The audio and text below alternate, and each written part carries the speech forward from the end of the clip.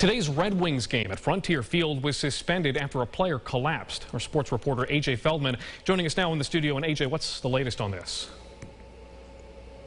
Yeah, Jack, the Philadelphia Phillies, the parent club of Lehigh Valley, announced earlier tonight that Iron Pigs third baseman Daniel Brito was in surgery after collapsing in the first inning of today's Red Wings game.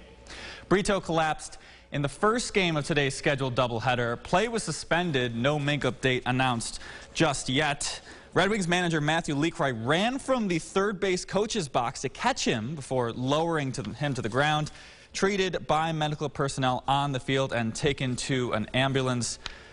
Uh, taken by an ambulance to a hospital. He did appear conscious while on the field, but still a lot unknown at this point. Scary situation, AJ. How does this affect things moving forward for tomorrow's ball game? For tomorrow's game, they still have not announced whether or not it will go on. They'll say that they'll provide an update at a more appropriate time. So we'll hope for the best for him, and uh, we'll see uh, what comes of this situation. Okay, AJ, thank you.